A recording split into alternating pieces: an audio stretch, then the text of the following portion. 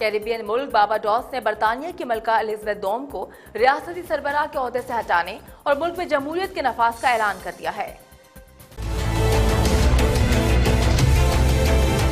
Having attained independence over half a century ago, our country can be in no doubt about its capacity for self-governance.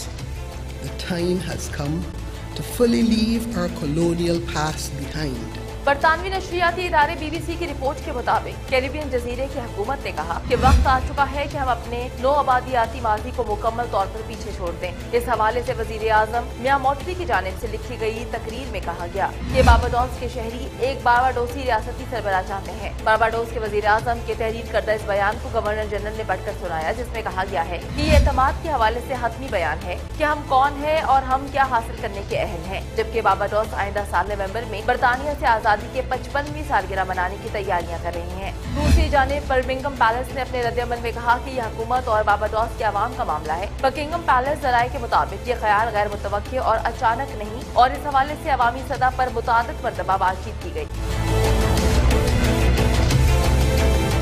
जबकि ये बयान parliament के नए session के आगाज़ में की गई तकरीर का भी हिस्सा है। बाबाडोस कैरिबियन में सबक बरतानवी कॉलोनी से अलहदा होने वाला पहला मुल्क नहीं होगा, बल्कि इससे कबल 1970 में बरतानिया से आज़ादी हासिल करने के चार साल से कम अरसे में ग्याना ने ये इकदाम उठाया था। इसके बाद उन्नीस सौ छिहत्तर में ट्रेंडारा और टोबागो, जबकि जुमैनिका ने उन्नीस सौ अठहत्तर में बरतानिया से अपने रास्ते जुदा किए थे।